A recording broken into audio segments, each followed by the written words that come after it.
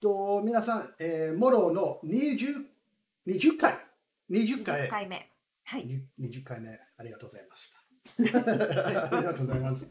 えーっとですね、今日は、えー初登場、えー、後藤明さんと、えー話したいと思います。えー今日はあのよろしくお願いします。えー今日は、えー参考してくれる人が、えー大川さん、いつもの大川さんと、えー、ミヒさんと、えー、沢田さん。今日は顔が出てますね。マスクがなくて。はい。えー、っていうことは、あのー早速、えー、後藤さん、えーっとですね、今日、えーちょっと最初の方は、あのー質問がい、いくつかの質問があります。はいえーあはいよろしいです。聞いてあはい、大丈夫です。はいこ。のいっぱい質問がありますから、ちょっと。多すぎる。多いすぎですか？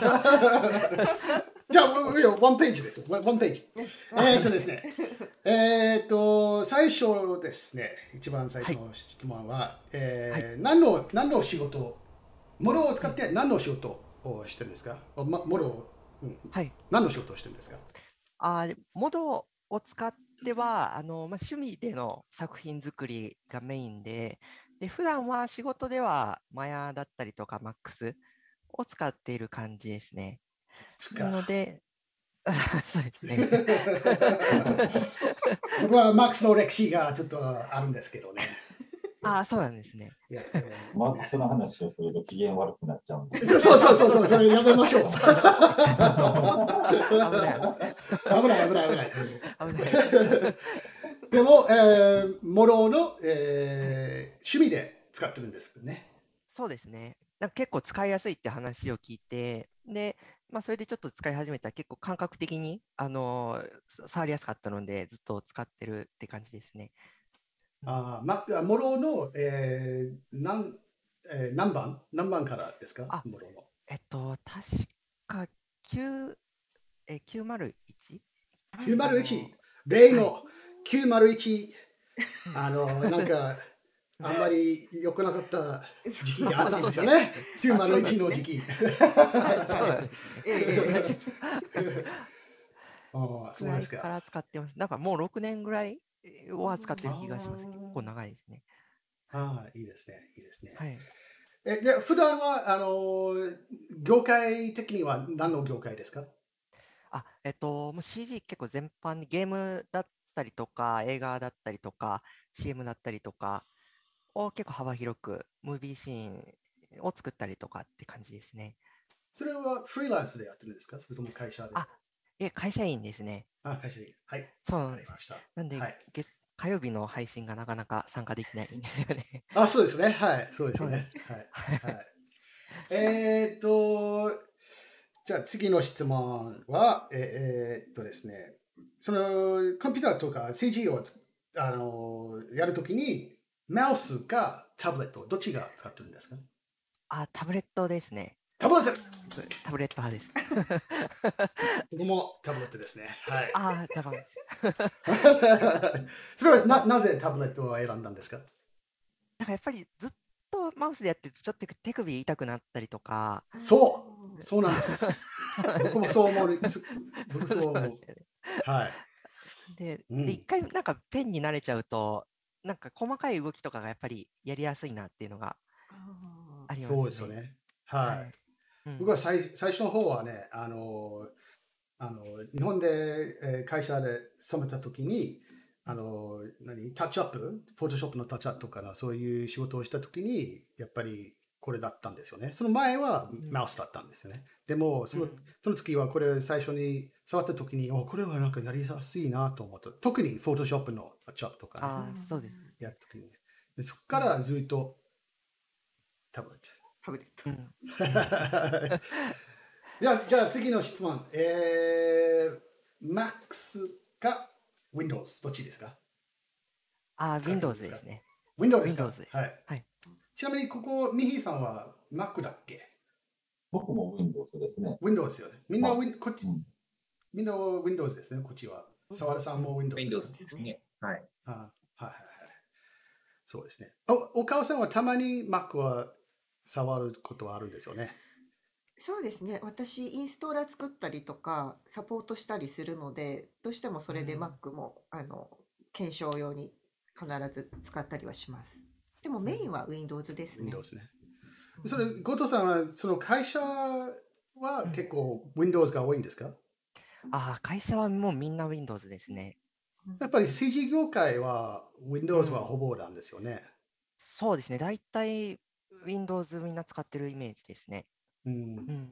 建築会社のなんか Mac が使ってるっぽいな、なんか使ってる雰囲気があるんじゃないですか、ミヒさいや、建築業界も結構、やっぱりね、オートデスクの不況なんで、オートキャド、レビットなんで、まあ、Windows 多いと思いますね。たまにベクターワークス使ってはる設計屋さんは Mac だったりしますけど、ん。なるほど。なるほ本当 Windows だと思いますね。ど。Windows ですね。あ、誰かあの Windows 11はアップデートしました ?Windows 11。ああ、僕しましたね。それでモードは使えるんですか？あ、今、普通に使えてますね。普通に使える？はいうん、どうしようかなと思った、最近。一応今システム要件であの一応11使えるっていうふうにファウンダリーからは出てますね。あ、そうですか。はうんい、出てます。大丈夫のはずです。大丈夫ですかうんなんか怖い。確かにね、あの元だけじゃなくてもね、そうなんですよね。うんうんいろんなものがこう同時にできなくなっちゃったりすると、いざという時が怖い。そうですよね。そう、変な汗が出ちゃうんだよね。えーっとですね、それ次の質問。えーっと、インスピレーションを来るた来るために、ゲームか映画、どっちか、どちらかあ好きなんですあ、か映画がすごい好きですね。うーん。映画をすごいよく見ます。どんどんな映画が好きですか？ああ、でも、ロード・オブ・ザ・リングとか、おおヒックとドラゴンだったりとか、結構なアニメーション映画、ヒックとドラゴン、ー。ヒックとドラゴン。それははい。日本の映画、ドラゴンあの、ドリームワークスの、あの、ドラゴンに乗るババイキングの、あ、はいはいはいはいはいはいはい。How to Train a Dragon。あれはいいね。あそうです、そう。そうあれは好きですよ、僕も。ねうん、あれはいいですよね。はい。うん。でちなみに、あの、ロード・オブ・リングスの、あの、あれが出るんですよね、シリーズ。テレビ、ああ、の、アマゾンで、アマゾンですよね。はい。うんシリーズが出るんですよね。はい。うん、多分すごい楽しみ9月ぐらいがこっちでは出るかな、今年の。うん。なんか予告僕もロード・オが、ブ・リングスは好きですね。はい。うん、あれが子供の頃見て、ああいうのやりたい子なと思って供の頃？子供の頃、た。ちょっと。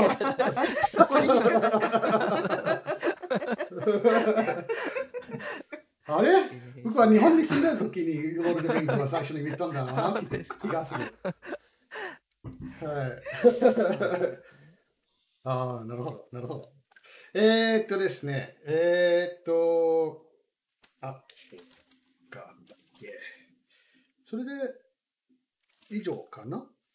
あ、スター・ウォーズかスター・トレック。どそれは、スター・ウォーズですか、ね。スター・ウォーズですか？やっぱり日本人はスター・ウォーズの方がうん、が多い。多いんですよね。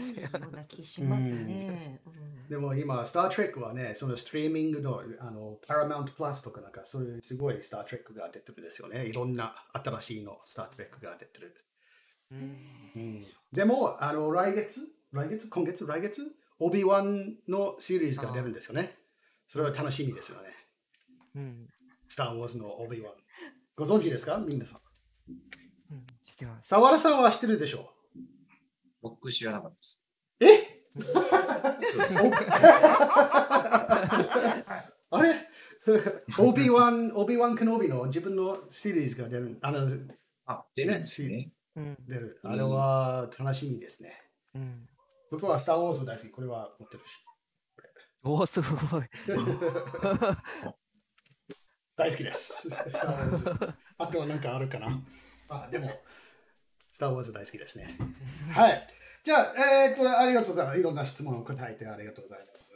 はい。あ、それで一番大事な質問は、オーストラリアに来たことありますか？あ、もちあります。一回あります。おおおう初？初？初、初。それいついつ頃ですか？あ、でも3、4年、ちょうどコロナが流行る前に行けて、3、あ4年ぐらい前ですかね。あ、いいですね。で、はい。すごい綺麗でした、自然が。そうですね。はい。はい。そう。ありがとうございます。じゃあ、えーっと、えー最初はどうしましょうか。後藤さんの、えー作品は見たいですね。はい、見たいですこれは面白いアニメーションとかいろんな、えーメイキングオーバーを見たいんですから、えーはいちょっとコメントが、えー実のカートリススキーの WD ドライバー2915コメントはこんにちはって書いてあります。こんにちは。見てくれてありがとうございます。えっ、と、じゃあ、後藤さん、えっ、と、やっぱり、あの、モロを使って、えー何？あの、好きな作品をホビーで使ってるんですよね。そうですね。趣味でいろいろ作ってます。はい。じゃあ、えー早速あの、はいが画面をちょっと見せてください。はい。じゃあ、ちょっと画面共有しますね。はい。はい。はい。今見えてますでしょうか？見えてます。はい。はい。と一応僕が作ってるのはこういう虎の今うんキャラクター作ってアニメーションとかやってるんですけど、えっ、と、ちょっと、あ、これ違う。なんか、えーっと、なんかこんな感じで、まあ虎の、これはすごいあの、Twitter とかなんか出た時に、はあ、これは面白いなと思った。かわいいし。ありがとうございます。なんすかね、あの、新、何、新しい年、おおあの、あそうですねそう、なると、はい虎年ですからね。そうそうそうそうそうねそれがうん本当に、わーって感じですね。はい。はいあれ、いいですね。はい。はいでちょっとこんな感じで、ループするアニメーションをちょっと趣味で作ってる感じですね。はい。で、まあ、データはちょっとこんな感じの虎が入ってまして、で、えっと、リグは、あのーキャラクターボックスキャラクターボックスなんですね。いいですね。カラクターボックスは僕はもう大好きです。いいですね。はい。で、これで、まあ、基本的に体とかはキャラクターボックスで動かして、で、えー動かしてって感じになっていて、ででですね、はい。で、フェイシャルは、うん。そこからちょっと追加で、こういうコントローラー追加して、動くようにしてる感じそですね。れ、あの、カラクターボックスの、あの、新しい、あの、カスタムカラクターボックスのうん。追加するってことですよね。あ、そうですね。はい。でそれで追加し、ちょっと細かい動きとかは、こういうので追加して、はいで、まあこの辺で目線動かしたりとか、はい。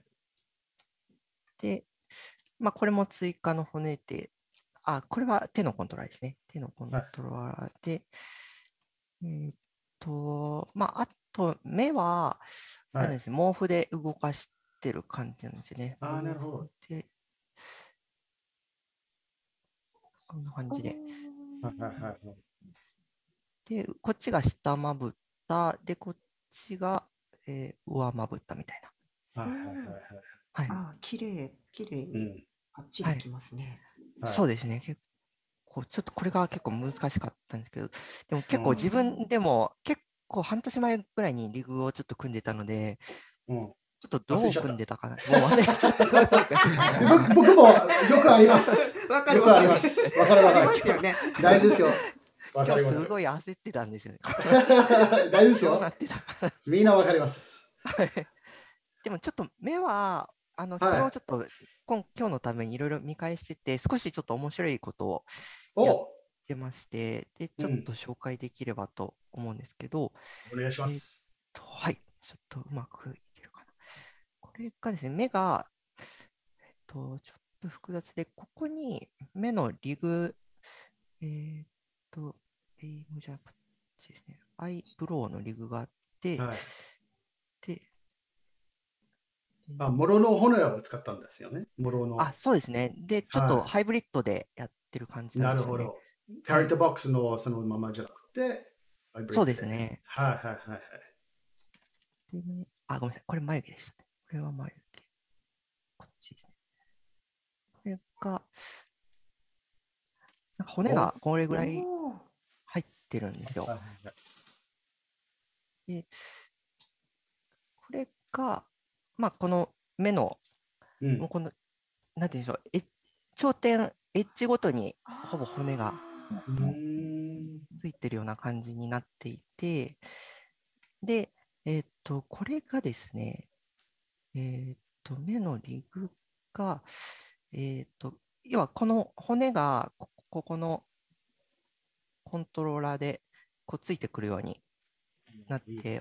はなまぶたがオフセットできるようになってるんですけどうん、これがなんか、なんでしょう、こここを動かしたときに、他もちょっとある程度動くようにしておきたくて、これがあのカーブ制御でやってる感じなんですよね。なのーで、なんていうんでしょう、ここが、うんとですね。ああ、そうですね、こんな感じで、はい、うん踏みつけられました。で、はいこれカーブがあって、で、このカーブが、えっと、まず、このカーブにあの毛布が入ってる感じなんですよね。で、あの、こほんの毛布が入ってる。はい。そうなんですよ。この、この虎のモデルに毛布が入ってるんじゃなくて、このカーブに毛布が入っていて、で、ここの左目の、例えば、ビューだとこういう感じで。で、このカーブに、えっと、さっきの骨がコンストされてるんですよ。ななので、このカーブの毛布を動かすと、このカおーカーブの頂点に骨がコンストされてるので、うんうんうんえっとついてくる面白い。そうですよね。はで、このカーブ2つあるじゃないですか。で、はいこの上まぶたと下まぶたの頂点数は同じにしてるので、なるほど。要はこの毛布はこっちに向かって動くんですよね。で、この上まぶたの毛布は下まぶたに向かって動く。あはいはいはいはいはいはい。あの同じ頂点が合わせるっていうことできるんですよね。そうですなるほど。はい。なので、下まぶた、左のやつを50%で、上まぶたを50%にすると、ちょうど合うように。おーはいはいはいいいですね。はおーはいいうん面白い。うんなんで、ここをちょっといじれば、えーっとですね、ちょっと待ってくださいね。こういじれば、えーと、例えば、カーブで、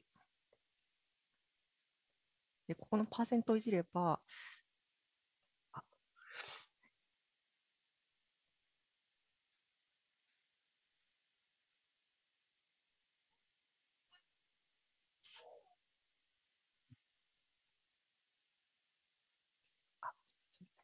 まあ、どっちかが、例えば片方が、えーっと、60であれば、ちが例えば40であれば、こっちは60にすれば、ちょっと高い位置で、なるほど。まばたぎができたりとか、いいですね。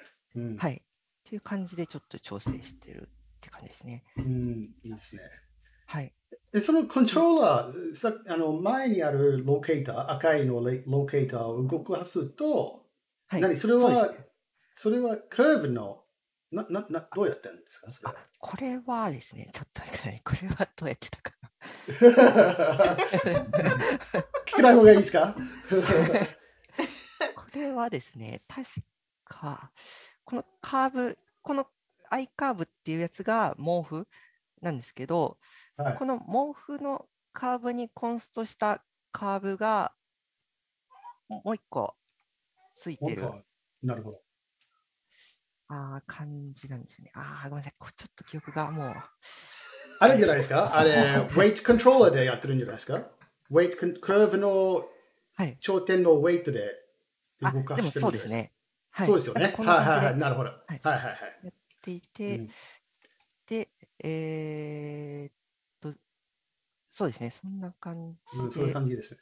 うんはい。なんで、まず毛布が働いて、その上に、このインフルエンスで変化が加えられるような感じに作られていますね。はい。で、あとはい、今ちょっと思い出したんですけど、もう一個ちょっとメリットがありまして、なんか毛布って直線運動じゃないですか。だからまぶたの閉じるときに結構まぶたにめり込みやすいと思うんですよね。なんですけど、そうですよね。だけど、今、ここでやってるやり方でいけば、でしょうこここの、ごめんなさい、ちょっと見にくいんですけど、この、えっと、なんでしょう、このカーブに、えっと、えっと、ポイントコンスト、あーごめんなさい、ポイントコンストじゃなくて、あの、エイムでついてるんですね。なので、こっからの回転で見るので、この毛布が入ったときに、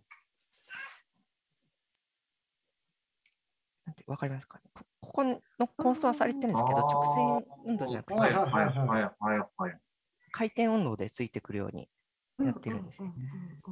なので、ちょっと毛布的なめり込みも発生しにくいみたいなうん感じのちょっと作り方でやってますね。よく考えたね。いいね。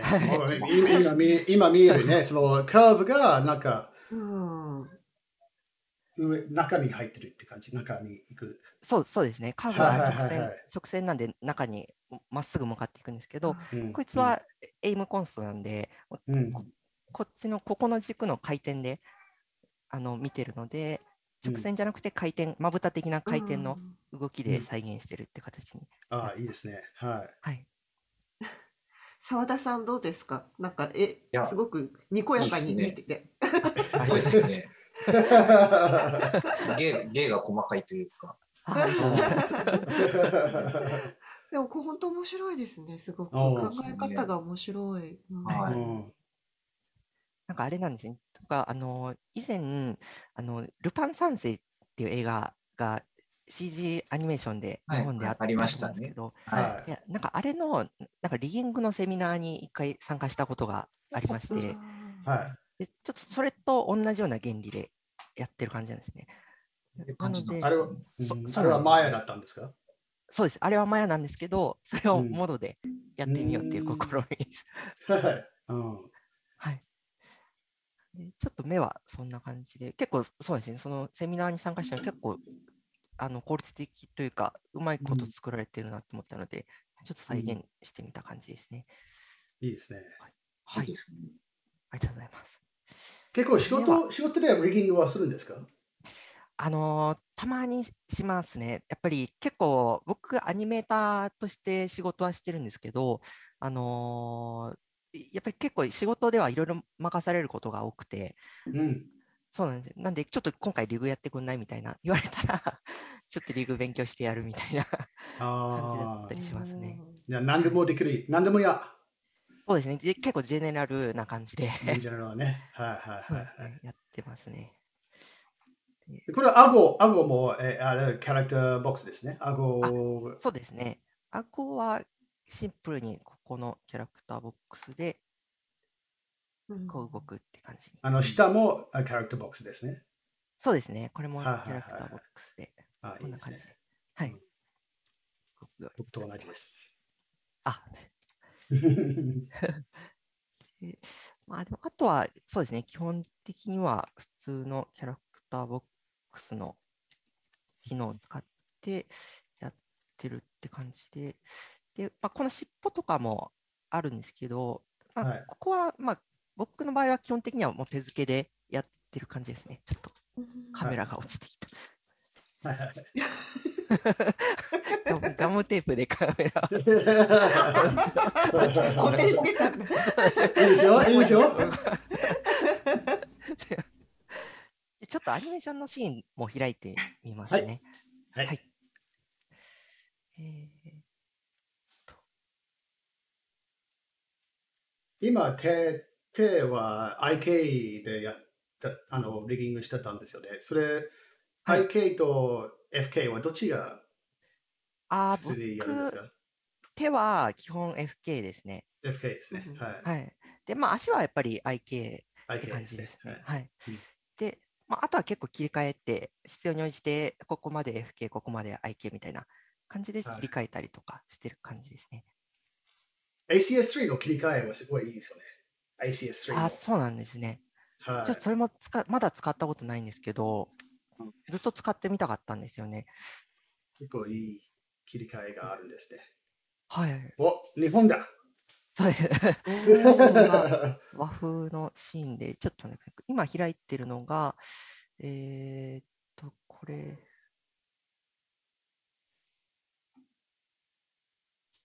このシーンですね。いいね。でまあちょっとこれ、カメラワークとかなんかすごいいいよ。ああ、ありがとうございます。この辺も。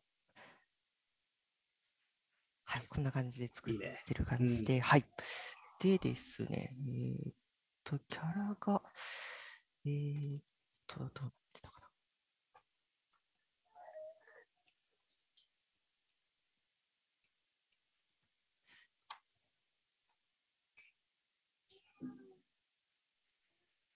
あレイアウトは面白いですね。こういうあ、三つは使うんですね。はい。そうですね、僕、こんな感じでいつもやってますね。こっちでカメラして、はいで、。こっちは、携帯見せずに、みたいな感じで。はいで、こう降りてきて、で、この地面の、ここのエフェクト、はい。まあ、ちょっとこう、降りてきたときに、ドカーンって感じの、やるんですけど、ここは確か、プロシージャルで作ってあーはいた気がしますね。あ、そうですか。はい。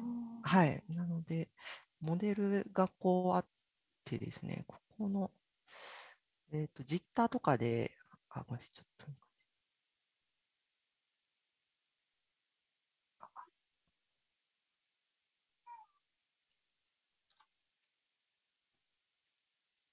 このジッターとかで、ちょっとうん地面のめり込み、あ、いいね感じ。い。そうですね、凸凹にちょっと入る感じ入れたりとか、えーっと、あとは、最初はこのまっすぐついてるだけのやつあうんが、あであ、なるほど。でこれをラディアルアレイで配置して、うん。で、そこからジッターで、あ、かけた。はい、あ、はいはいはい。出してみたいな感じで、ちょっとしたエフェクトみたいなうん。のをちょっと作ったりしてますね。はい。でで、それを自体をアニメーションしたんですよね？あ、確かそうですね。ジッターの、そうですね、ここにアニメーションが入ってて、入って、うん。はい。で、ここで変化を出してる感じですね。なるほど。はい。で、多分ここの着地した段階で強いのが入ってて、で、そこから徐々に上回るような感じでちょっと入れてますね。でそれなり、あの、頂点にいろんなウェイティングはしてあるんですか？いろんなえっと、こランダムのウェイティング。は特にはしもうランダムだったと思いますね。ランダムでこう、デコボコ感出るような感じで作ってた図で、このラディアルフォールオフで、まあ、この中心ほど変化が強く入っててみたいなうん感じだった気がしますね。うーん。面白いですね。いいねはい。これはすごいいいエフェクトはできるね。そうですね、うん結構作りやすいですね。やっぱり、うんあの調整がしやすいって言いますか、プロシージャルだ調整と、はい。それは僕は一番いいいいヒントだね。調整しやすいうん。が一番いいんですよね。うんはい。特に依頼者さんがいたら、依頼者さんがそれはちょっと直してくださいって。うん。うんなんかアニメーションでもやっぱり多いですもんね。細かく多いですよももうちょっとだけ抑えてみたいな。そうそうそうそうそうに。はい。やっうんぱり作りやすく作っ、変えやすく作っとくと、後で助かりますね。そうですねはい。で、ここはそんな感じで、で、あとこう走ってきて飛んでいくところ。うん目が怖い。そうですね。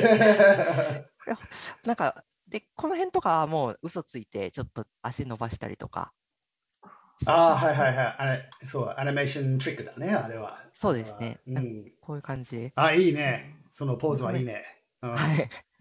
な感じで、なんか結構やっぱり、なんかマヤのヒューマンイケとかだと、こういう伸ばしてとかの表現って結構やりにくいんですよね。なんですけど、うんまあ、このしキャラクターボックス結構自由度が高いというか。ですよね。ですよね。スケーリングとかは結構やりやすいですよね。そうですね。あれもいいですよね。あの、キャラクターボックスの、例えば、その、えー、背骨を、口は伸ばしたいんだけど、あとは伸ばすか伸ばさないというチェックボックスがあるんですよね。ああ、はいはい。スケールチャイルドとかなんかあるんですよね。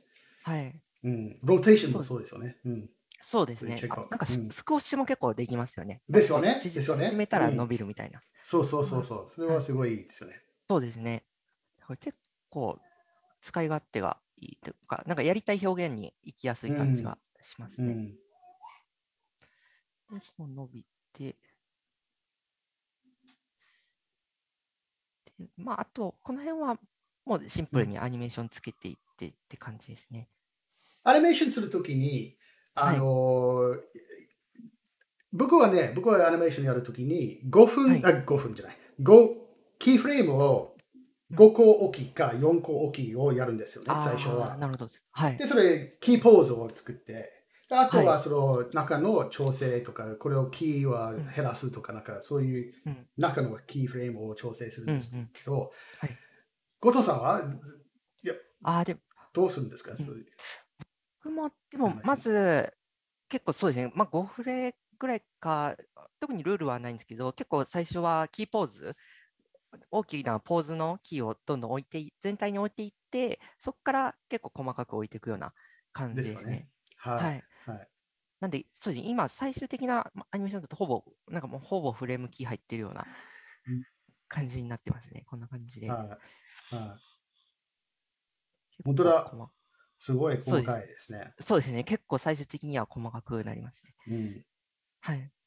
で、まあ、この鎧とかも、今手付けで最終的にはめり込み回避してるので、それはキャラクターボックスのリグですよね。そうですね。はい。はい。で、なんか確か、ひこのキャラクターボックスって結構自動でなんだ尻尾のアニメーションというか、ドラッグの動きみたいな、できたと思う。今回の場合はもう手付けでやってますね。はいはいはいはい。はい。それは何？あの、全部のキーフレームとか全部結構アニメーションのタイミングは終わってからそういううセカンダリーアニメーションはやるんですか、あ、そうです。その通りです。はい。まず体のアニメーションつけて、そこからセカンダリーのアニメーションって感じですね。はいはいはい。はい。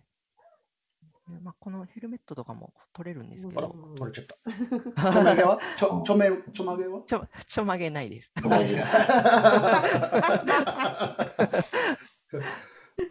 こんな感じで、そうですね、ちょっと作って、で、この、なんていうんでしょう、このななんていうのかわかんない、この結び目みたいな、はい。これとかは、今、プロシージャル、これもプロシージャルなんですよね。なんか、スキンつけると結構大変なので、はいはいここにカーブが入っていて、そのカーブから生やしてるんですよね、これを。えなるほどえ？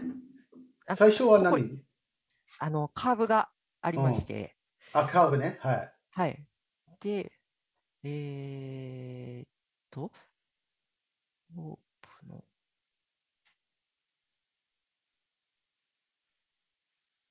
あ、あそうですね、こんな、なるほど。うんはい。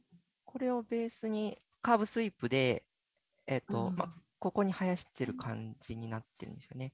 うん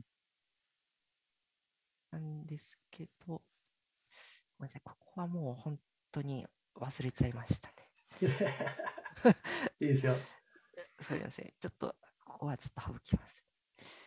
まあ、でも、やり方はちょっとこんな感じ。ここのカーブ制御で、スキン、スキンだと結構やっぱり大変なので、うんカーブで一律で動かしてるって感じになってますね。なるほど。っていうところですかね。で、あと、あ、じゃあ、あと、すもう少しだけ。え、あの腕、腕はロボットの腕？あ、これロボットの腕ですね。知らなかった。え、すごいな。うんそうなんですよ。ちなみにこえれーは、あのーモデルもモードで作ってるんですけど、はい。例えば、あ、ちょっとごめんなさいね。ちっちゃいですね。なんかこういうとことかは、うん結構、あのーメッシュフュージョンで作ってますね。え複ー、雑な。おーこういう感じ。綺麗な切り面があるんですよね。メッシュフュージョンそうですね。なんかわかりやすいのが。えーっとですね、ちょっと待ってくださ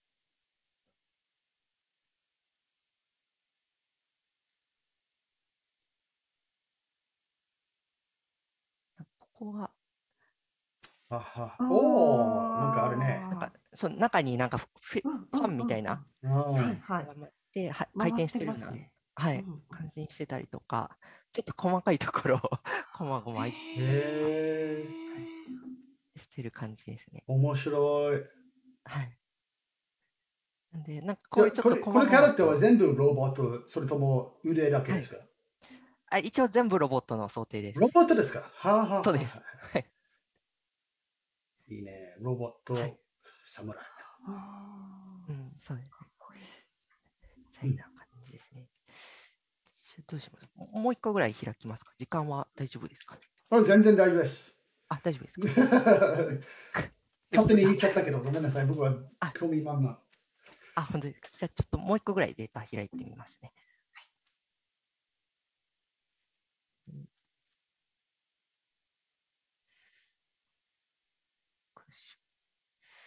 いえー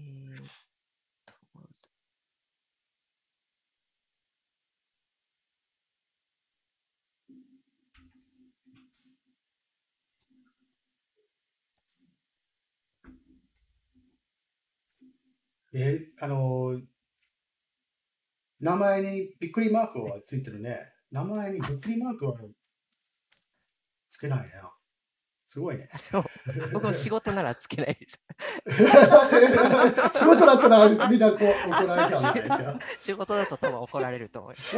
びっくりマーク、びっくりマーそうですねク。これが個人制作の。自由さです、ね。びっくりした。こあ、これ見たもことないな。これは何？これは新しいの？あ、でもこれも半年前ぐらいですかね、うんのやつなんですけど、えっと、完成版がまず、えーっ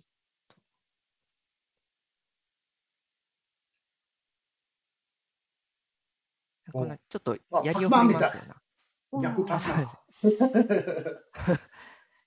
で なんかちょっと、いいね。あの、なんでしょう、2D アニメーション風の 3D 的な感じで、なんかかゴーゴーストみたいなお化け表現ってあるじゃないですか。はい。あれをちょっとやってみようかなっていうので、試してたいいねやつですね。はい。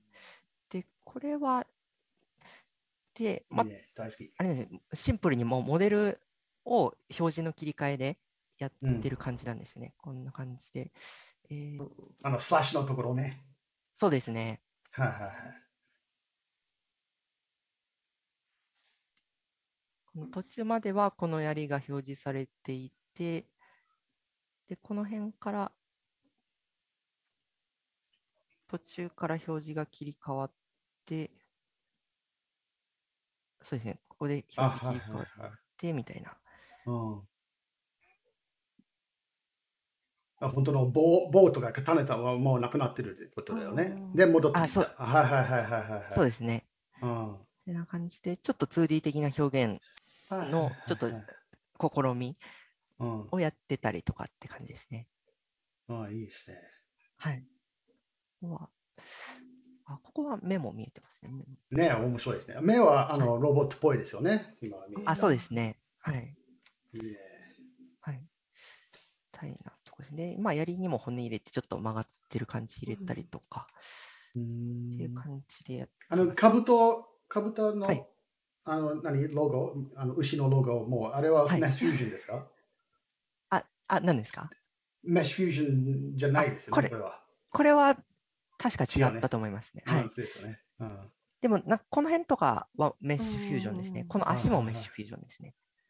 やっぱりこう、ちょっと溶接したような感じだったりとか、なるほど。うんやっぱりなぶっ刺しより若干やっぱこう滑らかにつながって見えるのが良くて、うん。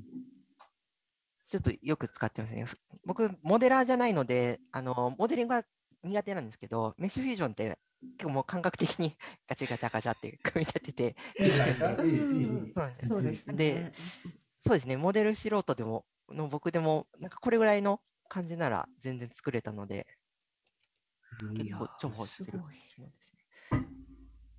みたいな感じですかね。いいですね。はい。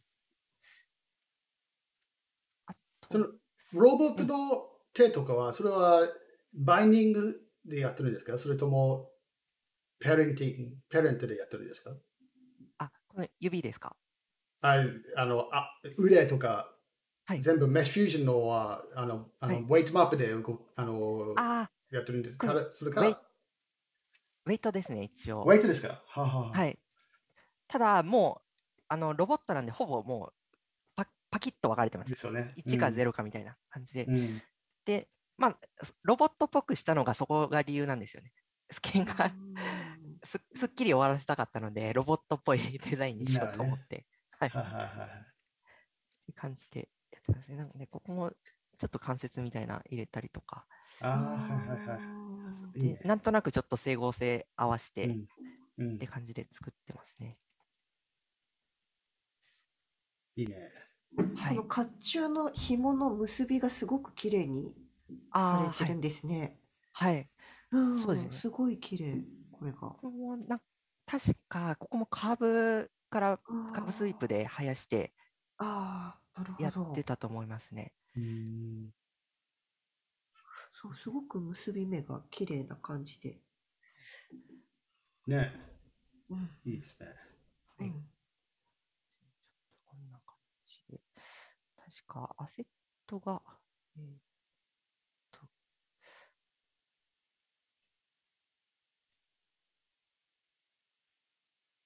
でこの牛のモデルは去年、あ、2年前くらいかな、に作ってたので、あの虎みたいに複雑なことはやってない感じなんですよね。うんでシンプルに作うんって、で、まあ、こいつもキャラクターボックスですね。うんうんキャラクターボックス入れ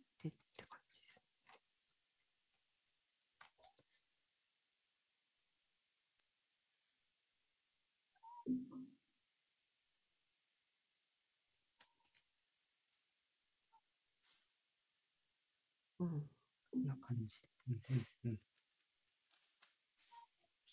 やっぱりカラーボックスをベースして、それからカスタマイズするってことですね。あ、そうですね、そうですね。それにあのもろの骨もなんか使ってますよね。カラーボックスだけじゃなく。そうですね、この辺とかはうんはいはいはいはやってますもんやねっ。てますね。い。うん。面白い。うん、そうですね。はい。辺とかもいろいろ動かせるよううんに細かく。あ、ここもそうですね、カーブでさっきやってたって言ったのが、まあ、こんな感じで、ああ、はいはいはい元のカーブの方を動かすとっていう感じですね。モデルもちゃんとついてきてくれるんですね。そうですね。なんか、なんかスキンみたいな、なんか変に潰れたりとかが起きにくいんですよね。だから結構、こういうあ時はつこういうやり方でやってますね。あ、いいですね。ー素晴らしい。カーブはね、結構やりやすいですよね、そういうのは。そうですね。うん。やこれマックスはできないんじゃないね。っぱり、言っちゃった、言っちゃった。ごめんなさい。み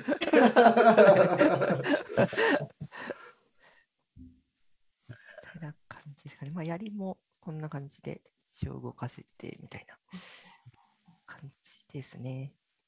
いいですね。はい。はい。はい。そんなとこですかね。はい。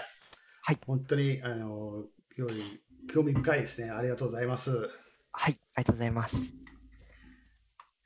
澤田さん、なんか質問とかあります？あのスクワッシュあとスクワッシュの動きってどういう感じでつけてるんですか？ああ、単純単純にスケールって感じですか、そうですね。もうスケールでやってますね。はいはい。あ、じゃあ、ちょあの、トラはまだ開いてますか？トラトラはまた、あ、ありますね。うん、トラをちょっと開いてください。で、はいえーあのメッシュをちょっとは、あの、あ非表示見せ見えない。そうそうそう。はい。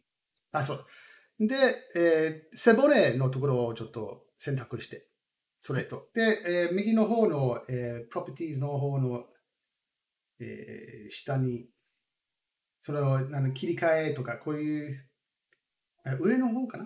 もうちょっと、そう。で、それでスクロール。そうそうそう。スケールあとか回転、あの漢字はあ読めない。何の漢ね はい。漢字は難しいわ。継承するっていう、うんその前の、えっと、回転とかスケールの値をそのまま影響を受けるかそこでこうブチッと切ってっていう形にするかっていうのがキャラクターボックスの方は制御ができるので、そこがすごくやりやすいんじゃないですか、いいですよね。はい。うん僕はよく使ってるんですね。うん。はい。結構そうですね。ここが、あの、肝というか、うんここで結構可能性が広がる感じありますね。それもキーフレームもできるできるんですよね。ここ確か、あ、そうですね。できる。できますよ。はいうんああ、売ってるんですね。はい。はい。でそれを例えばこの腕のところをこの上上の方の骨がちょっと伸ばしてほしい。でもこの指とかなんかあの伸ばしたくないんだったらうんそれをうんそうやるとすごいあのやりやすいなんですよね。うん。確かにそうですねここ面白いですいいですねうん。でこれもなんかいじると、えーそのスケールのそのカーブを何？グレーディエントをいじるとかあのスケールの大きさとかなんかできるんですよね。そうですね。はいうんで、なんか確かこの辺で、そのスコッシュした時の変化具合とかもいじれた気がするんですよね。今ちょっと骨がはいはいスパインはい2本なのであんまり変化がそうですよねないんですけどは潰した時に横にどれぐらい伸びるかだったりとかい。ううんんうんうんのバランスが確かこの辺りでいじれたと思いますね。ですよね。はい。はい。スケールウェイトとありがとうございます。はい。もう、キャラクターボックスはね、強いですよね。強いっていうか、すごい機能が多いんですよね。う。うんん。すごいいいですよね。うん、そうですね。うん。ありがとうございます。ありがとうございました。はいありがとうございますありがとうございます。ありがとうござい。画面を。はい。じゃあ一回閉じますね。はい。はい。ありがとうございました。えー、っとですね、えー、じゃあ次は今何時？まだ時間ありますね。あ、もうすぐだ。早いな。大川さんは16、モロの16、なんか紹はい介があるんですね。そうですねじゃあちょちょっとだけ、えっと、やろうかなと思いますお願いします。はいえっと今こちら16の画面見えてますかね？はい、見てみます。はい。えっとですね、まあ、16.0、今パブリックベータやってますけれども、えっと、もうすぐリリースになるかと思います。一応、えー今だパブリックに出てないかなと思いますが、これが、えーリリースビルドになる予定のバージョンです。はい。でですね、えっと、ファンダリーのグレッグさんがやった16.0の、えライブストリーミングでいろんな機能が紹介されてたかと思うんですけど、えっとまあ、今までも大きい機能でシェーダーツリーがちょっと変わりましたよとか、テクスチャーキャッシュイメージがありますよとか、プロシージャル版のブリッジがつきますよとかやってたんですけど、えっと、グレッグさんのライブストリーミングでも、えーものすごく軽くスルッと流されたところでちっちゃい機能がいくつかあるので、そこら辺ちょっと今日拾ってやろうかなと思います。はいえっと、16.0ですね、えっと、すっごい地味なところなんですけど、実は設定ファイルの持ち方がですね、ちょっと変わっています。えっと、まあ、いわゆるコンフィグファイルなんですけれども、まあ、システムメニューの設定フォルダを開くっていうところから見てみると、えっとですね、今までだと設定ファイルって、まあ、こういった 15.2.cfg っていう一つのファイルになってました。で、このファイルの中にブワーっていろいろ書かれてたと思うんですけど、16.0からですね、16.0っていうフォルダーができて、えその中に各項目ごとにブワーっと設定ファイル分かれてます。分割されてます。なので、えっと、前までは結構設定ファイルで1箇所なんか不備があったみたいになると、もう設定ファイル捨てないと、もうどうにもできないってことが結構トラブルがあったんですけど、16.0だともう、それぞれに設定ファイルをこうか分割しちゃってるので、その部分だけおかしくなってるだろうコンフィグのところだけをもう切り捨てて、やるっていうことで、他の設定をこう活かすようになってます。いいですね多分これ誰かから言われたんじゃないかなっていうですよねですけどと。僕は言ったか？な。あのみんな言ったと思うセットフ。ァイルがですね、やっぱりこう、みんないろんな人が開発してて、いろんな人が設定に持たせるので、設定自体のなんて言うんだろうしょ、整合性がだんだん取れなくなってきたりとか するところがあって、ちょっとおかしいなことになる時も多かったんで、もうこれを全部バラバラに持たせるみたいな形になってます。なので、もう本当におかしくなったなと思えば、このフォルダごと削除してもらえればいいし、えー明らかにどっかの機能がおかしいとなったら、えーまあ、そこのところ、例えば FBX のプリセットだったら、このところだけを切っちゃうとか、キットがおかしいとか、えそういうところだけをこうどんどん切っていくっていう風にして、えーなるべく他に影響を与えないようにしようっていう風なところが、えーちょっとちっちゃいところでうん行われてます。それはいいことだと画思う。面のあのレイアウトとかも切り出せるんですか？画面のレイアウトは多分どっかで切り出せてたと思いますね。プリファレンスとかそれよくあるんですか？ミヒさん。僕結構あのレイアウトガリガリにカスタマイズするんで、うーん。なんかトラブった時にコンフィグするとまたレイアウト組まないといけないとか、あと、バージョンが上がった時にまたレイアウト組まないといけないとか、うん。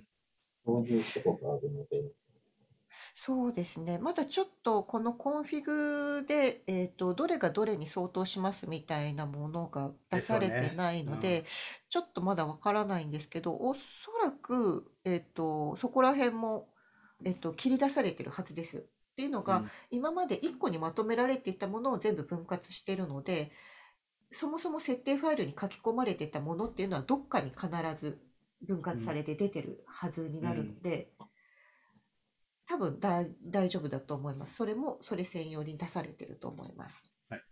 なぜか設定ファイルって肥大化していきますよね。そうなんです。あの。そうなんです。あの、どんどんゴミ情報が乗っかってるあ乗っかってるみたいな感じがあるので、あのおそらく多分こういうふうに分けることであこいつが原因だったんだなっていうのも分かりやすくなると思います。うん お前かっていう感じの。ね、はい。名前がちゃんと書いてあればいいですよね。でも多分これこうそれぞれやってる人があ俺ここれ俺の管轄だなっていうのはあると思うんですよね。なので多分あの特定はしやすくなるような気はします。うん。うん。こういうふうに分けられることで。ですよね。はい。っていうのがありまして、で、あとですね、あの、16.0で新たに出されたのが、条件コマンド、コンディショナルコマンドっていう機能が、えっと、追加されています。で、コンディショナルコマンドってどういうことかっていうと、えっと、例えばですね、えっと、今までもあったんですけれども、例えばこれ、アイテムモードの時に、えシフトキーを押しながら D のキーを押すと、これ、インスタンスが1個できます。まあ、そういうショートカットキーだったと思うんですけど、これ、例えばコンポーネントモードでシフトキーを押しながら D のキー、同じキーを押しても、これ再分割の、再分このサブディバイドのコマンドが効きます。なので、同じショートカットキーでどのモードにいるかによって、えー作用するものが違うっていうのがあったと思うんですけど、うん。コンディショナルコマンド、条件コマンドっていう機能が搭載されたんですが、それだとですね、もっと細かい設定ができます。例えば、これをどこでやるかっていうとですね、結構めんどくさいんですけど、このコマンドのところでですね、えーこういうコンディショナルコマンドで先頭にハテナってつくつけると、コマンドにちゃんとプロンプトが、ダイアログが出てくる状態になりますので、この状態でやると、こういった条件コマンドっていうパネルが出てきます。で、これ、具体的に何をするものかっていうと、えーそうですね。えっと、例えば頂点数、頂点モードで頂点が全く選択されてない状態、もしくはせんえっと、頂点が1個選択されているとき、頂点が複数選択されているとき、で、えっと、コマンドを全部切り替えることができます。なので、えっと、そうですね。例えば、うんこのキーっていうのはその条件コマンドのキーワードみたいなものになるんですけれども例えばここ、うん、スライスコマンドみたいなキーワードにしておいて例えばポリゴンモードで、えー何も選択されてないとき何も選択されてないときは、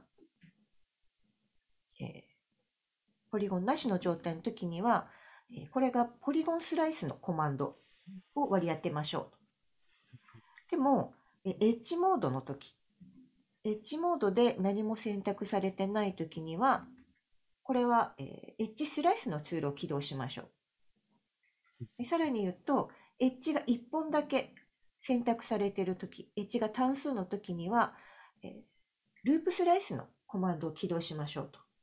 で一つのコマンドだけで、えー一つの、うんまあ、コマンドというかキーだけでそういうふうにしましょう。っていうのを、えー OK ボタンを押してあげると、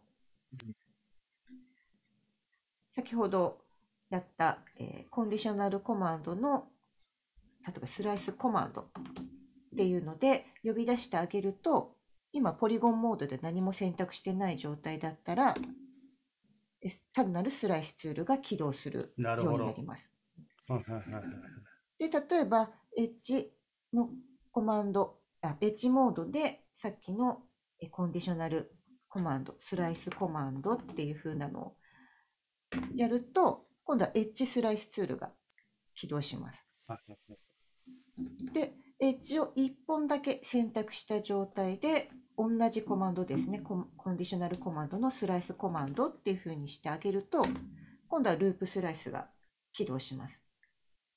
っていう感じになってるので、自分ですごくよく使う、この場合にはこのツール、この場合にこのツールっていうのがはっきり決まってる方だと、こういった条件コマンドっていうのを使うとですね、すごく楽にいけるかと思います。で、コンディショナルコマンドの、今さっき言ってた、その、こういった、このコマンド自体をキーボードショートカットに割り当てておくと、キー一つで、その編集モードだったり、編集モードで何を選択しているのか、何個選択しているのかで、え全部分岐させてくれるようになります。で、これもですね、えっと、先ほど言ってた、えーコンディショナル、えっと、先ほど言ってた、えーコンフィグのところですね。コンフィグのところで、えーそれ専用のコンフィグファイルが、えー出てくれるので、どこにあったかな？こういった XML のファイルで書き込まれるんですね。なので、例えば、マージアイテムっていうキーで、えー、と一つだけ選択してたらメッシュの統合を解除する。で複数アイテムモードで選択してコマンド実行したらメッシュの統合をしてくれるとか。っていうのがすごく簡単に XML でこうできてくれるので、もうこれ解除しようと思ったらこれ全部コンフィグファイル削除すればいいしっていう感じになります。いいですね。うん、なんで、よく、よく使う。うん。あの、選択してるしていない複数じゃなくて、一2本だけとかっていう条件とかって聞けるんですかね。えーっとです2本ね、だけ選択されてる状態。単数か複数かになっちゃうので、2本っていう個数の制限はできないと思います。できない。うん、で、よく自僕とうんハードのさんの2本だけ選択して、うん、うん。要は、ループスライスの選択部分だけスライスっていうオプションあるじゃないですか。はいはいはいあれたまに使うんですよね。ループしてほしくないんですよね。うん選択した範囲だけで、あの、ループスライスしてほしいっていうなんかそれはできるって、なんか見せたんだってなかったっけ？ただそれだ選択とをしてる。自分が、えっと、例えば3個以上だと、3個以上でそのコマンドキーを打つことがないっていうふうに自分の中で決めておけばいけると思います。うん。単卒。たうんうん一本だけの場合はループスライス全部行くようにしておいて、複数選択の場合は、うんえーうん。あ、でも、これ、チェックつけようと思うと、コマンド2行書かないといけないですよね。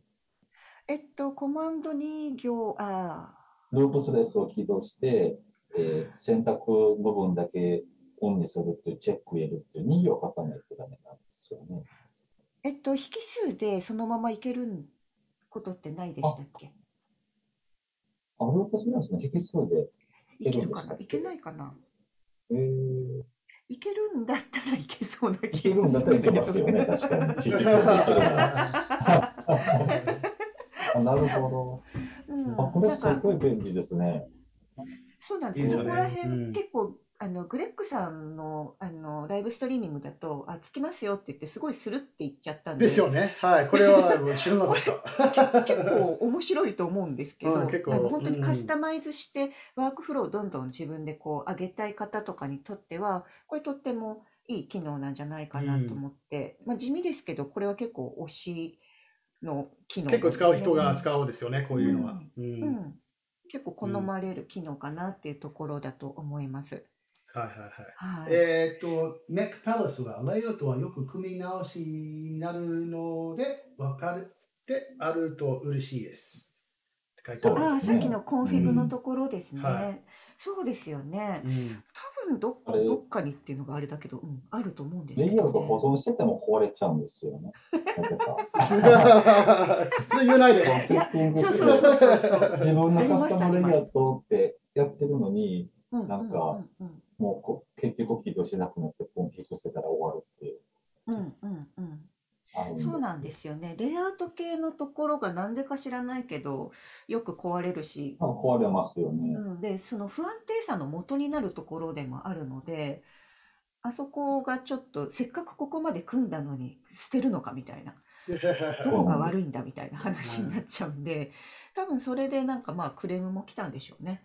いいですよね、きっと。うん あのそこら辺がだいぶなんかこういったもので、えーと分けてっていう形になってるんだろうなと思います。うんはい。僕ら陽性のモニター使ってるんで、あの、例えばツールプロパティとか K でフロー取り出してピン止めしとくじゃないですか。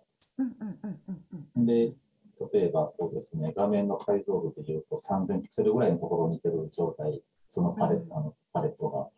で、同じコンフィグを 2K のモニターに持ってきて起動すると、パレットをよこっちに持ってこれないんですよね。はいはいはいはいはいはい。で消して、もう一回つけても同じ3000ぐらいのところにいてるんで、うんうん。あそうでれ戻す方法ってあるんですかえっとですね、あのーやっぱ捨てるしかない。捨てるしかないかもしれないですね。あの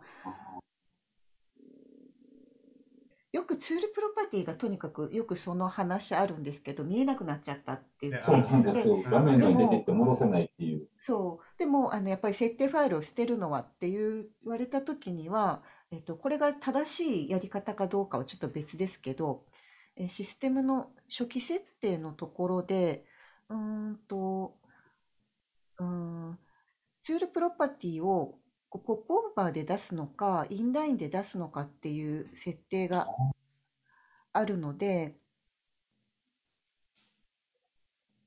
一回多分例えば、えーこういう形で出されていたとしてもはいここでインラインとかにするとこっちにも出てきてくれるので。うん。とりあえずそこから、えっとアクセスするしかない。うん、アクセスすることはできますよっていう非常時にはこれをお勧めしてますね。なるほど。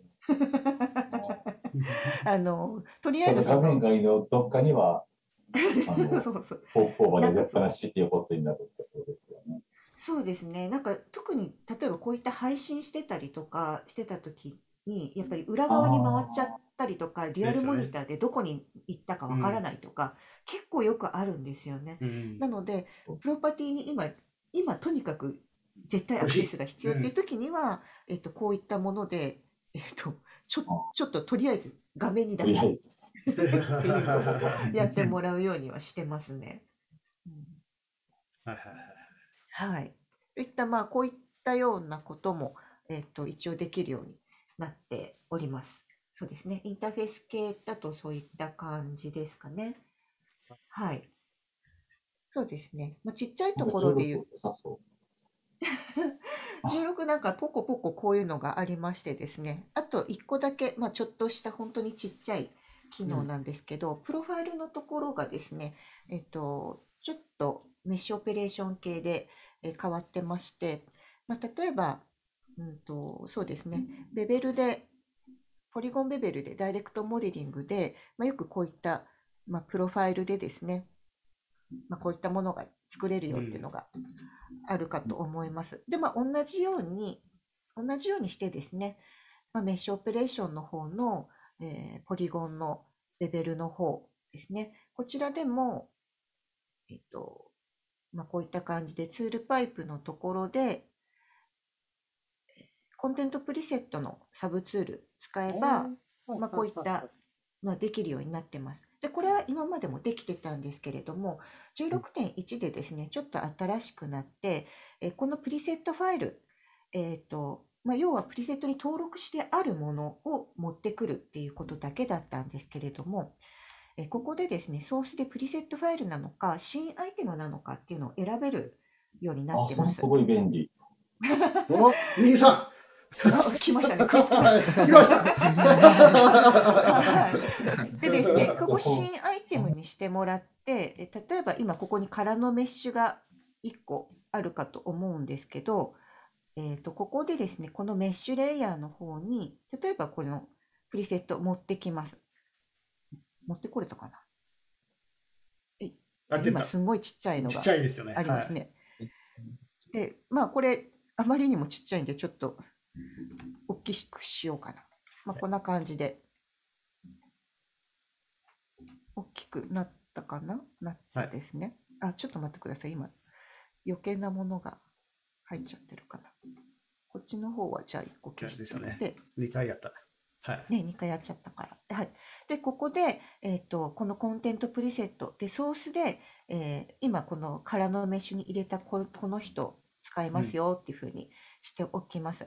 で、そうなった時に、ポリゴンのベベルがなぜここにないのかな？選択したのかった？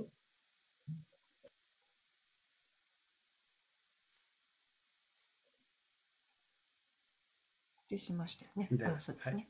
はい。で、えっ、と、ここで、リセットのところで、例えば、まあ、こんな感じで、えっ、と、今、メッシュの中に入れたこれを使って、えーベベルしてます。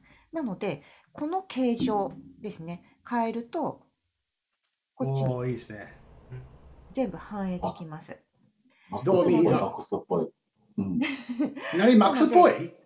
地雷を踏んだ。地雷を踏んだ。なので、えあー、との例えばこのプロファイルの今メッシュのレイヤーに入っているこの形状自体普通のアイテムなのでこの形状をアニメーションさせることもできます。でアニメーションしたらこちらのベベルの形状もアニメーションします。全部リンクして。っていうことができるのであのここはそうですね、ダイレクトモデリングだとやっぱりあくまでモデリングのところだけなんで終わっちゃうんだけど、あのメッシュオペレーションのプロシージャルモデリングのとこだと、これも結構面白い機能として使えるんじゃないかなと、便利に使えるんじゃないかなってういうのがん。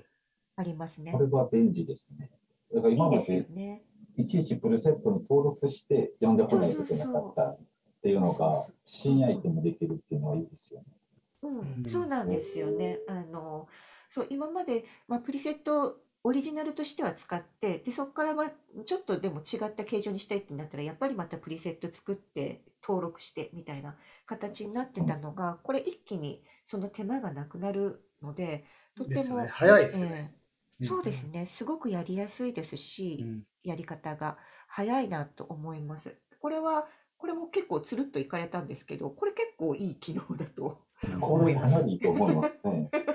あ ー そうなんです。これはぜひともですね、あのちょっとご紹介したいところだったので、うんあの活用していただけるといいなと思います。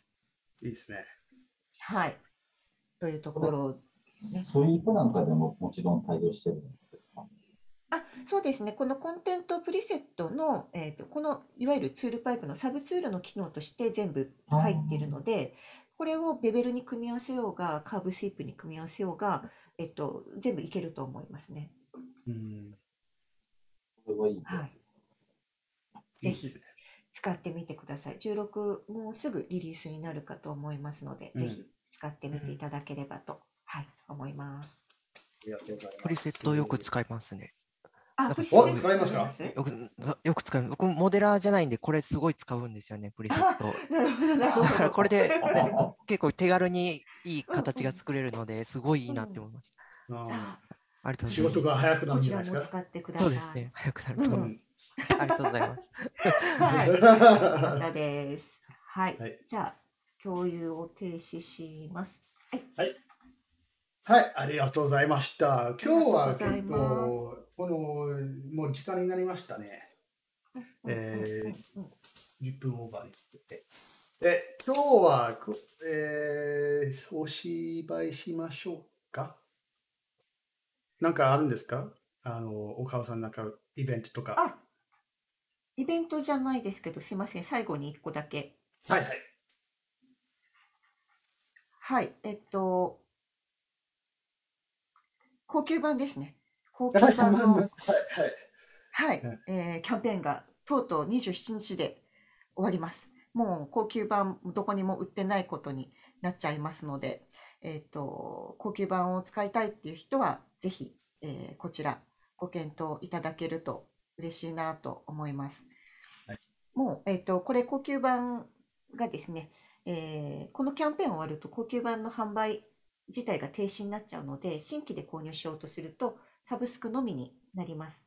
えーまあ、高級版はですね、1年間来あのメンテナンスついてますので、1年間は、えっと、最新バージョンが使えるようになってますし、えっと、1年間が来あのメンテナンスが切れた後でも普通にえそのバージョンまではずっと使い続けることができますので、え揃えておこうかなと思う方は、今このタイミングでぜひお願いできればと思います。はい。はい。以上でございます。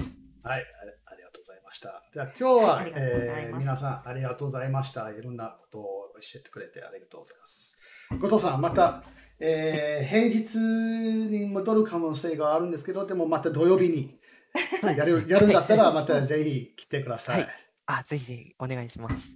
はい。はい、えーっと、来週の火曜日は僕のちょっと都合が、えーできない、えー配信はできないので、えーちょっと来週はなないお休みでけど、すねお休みですね。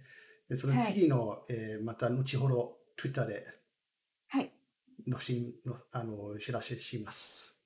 はい、告知しましょう。は。はいはい。では今日は皆さんありがとうございました。ありがとうございままししたありがとうございましたた。